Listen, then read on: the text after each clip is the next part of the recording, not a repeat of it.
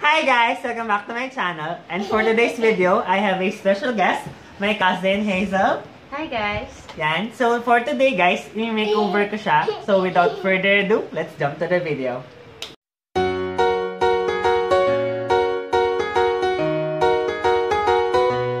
So yan guys, first, gonna prime her face using this Quick FX No Shine Mattifier. Then, spread lang natin sa T-zone area. Nakamarap eh.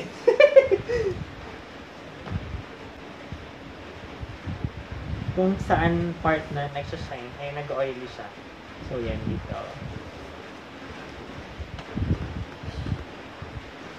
So, by the way guys, dab-dab motion lang pala dapat. Yun natin siya spread. So, yan.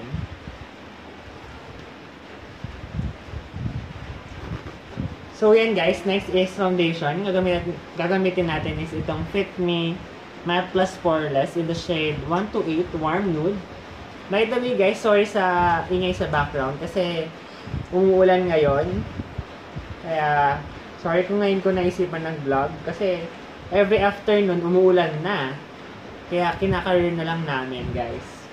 Yan. Career? Oo, kinakareer namin. Can't win, I can't reign. I will never win this game without you, without you, without you, without you. Without you. I am lost, I am vain. I will never be the same. Next, mag-conceal tayo gamit tong Maybelline Fit Me Concealer in the shade Sand Sable. Never be the same without you, without you, without you.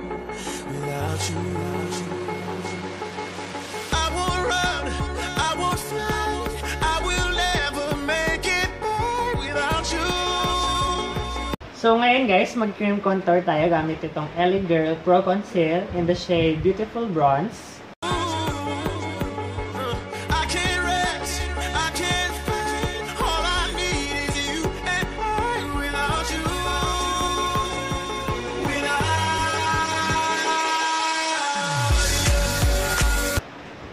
Then guys, mag-bake tayo gamit itong Nichido Final Powder in Ivory Glow.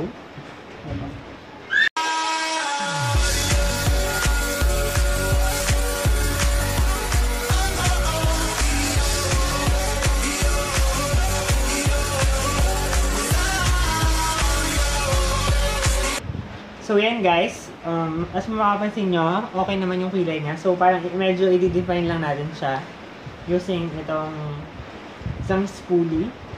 Then, yun nga, um, parang ililift lang natin yung brows niya.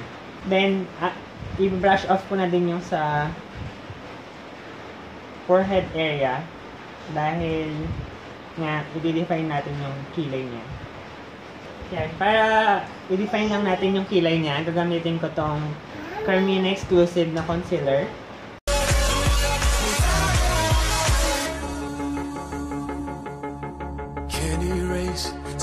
Take blame, but I can't accept that. We were I-brush off natin yung bake.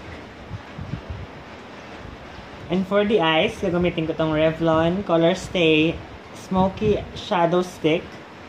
Ito gagamitin tong dark green. but I can't accept that. We were strange without you. Without you. And then blend ko lang siya gamit tong finger ko. Then blend lang natin yung sa edges niya. Para walang harsh line. Then, dito sa Wet n Wild Color Icon, itong shade na to, with this one, ito yung nalagay natin sa outer V area.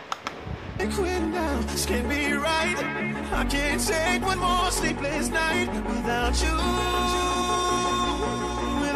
Then, gagamitin tong shade na to. Siya yung nalagay natin sa inner V. Pero bago yan, i-spend ko muna siya ng setting spray.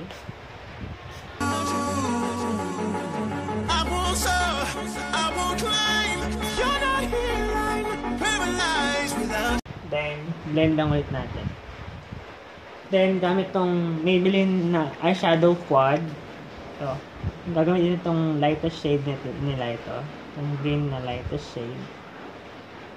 Then, ilalagay natin siya sa pinaka-center.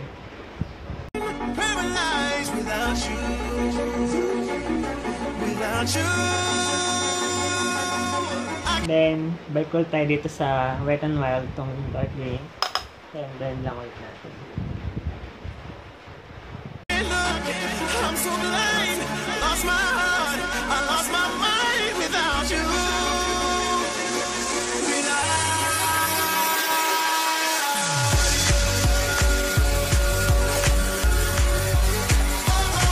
Maglalagay lang tayo ng black liner sa lower left waterline niya.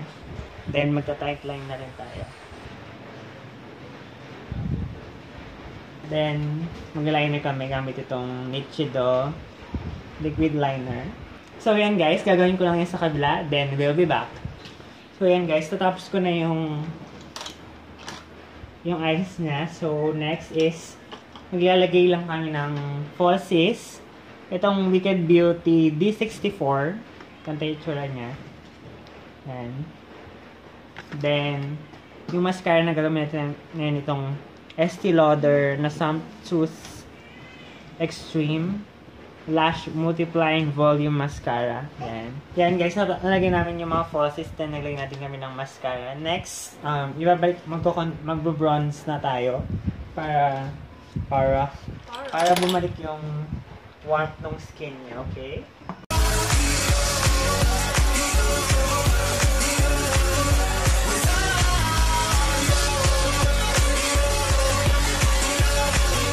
Mag-blush tayo gamit tong CoverGirl Cheeker in the shade Rock and Rose.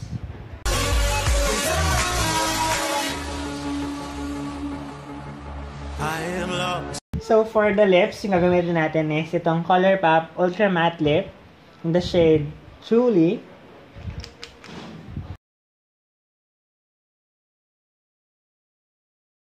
Gamit itong L'Oreal Paris Color Rich Lip Gloss in the shade Blushing Cherry. Ilala- ilalagay lang natin yung middle lip niya para medyo lip gloss ng dating. Hindi siya plain matte lang. Then, gamit itong NYX Lily Finish. Sa setting spray, set lang natin yung whole face niya. I will never be the same without you. Then, yung pinaka-favorite kong part, itong highlight. Gamit itong Wet n Wild Mega Glow Highlighting Powder in the shade Precious Petals. Without you. Without you.